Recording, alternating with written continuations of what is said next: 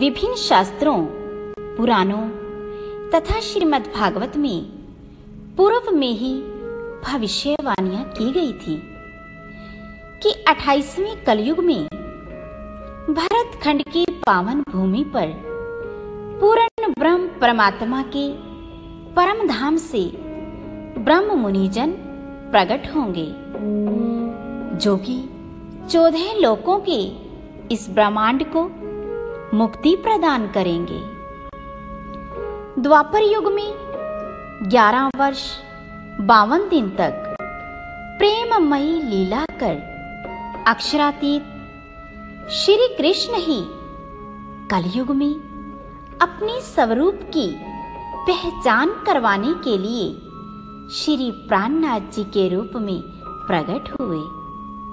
तथा संवत 1735 के चैत्र मास के प्रथम दिन, हरिद्वार, कुंभ मेले में हिंदू धर्म के समस्त संप्रदायों के आचार्यों, मठाधीशों, वे संतों ने धर्म चर्चा व शास्त्रार्थ कर श्री प्राणनाथ जी को श्री विद्याभिनंदन बुद्ध निष्कलंक अवतार के रूप में सुशोभित किया।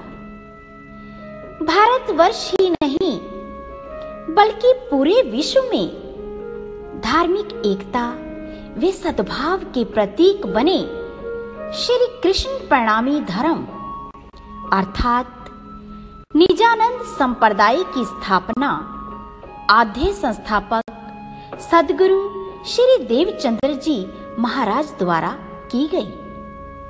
इस ज्योति को प्रवर्तक के रूप में महामती श्री प्राणनाथ जी ने सर्वधर्म संभाव, मानव सेवा, विश्व बंधुत्व, प्रेम एवं एक परमात्मा की पहचान हेतु देश विदेश में भ्रमण कर प्रज्वलित किया।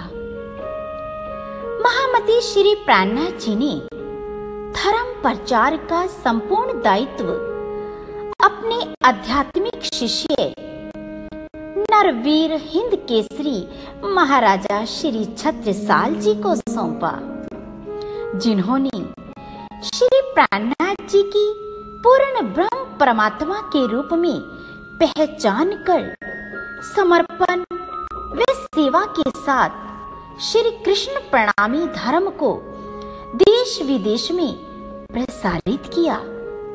श्री प्राणनाथ जी से आध्यात्मिक ज्ञान के साथ साथ राजनीतिक, सामाजिक व आर्थिक मार्गदर्शन, वे आशीर्वाद प्राप्त कर श्री छत्रसाल जी ने बुंदेलखंड को स्वतंत्र कराया।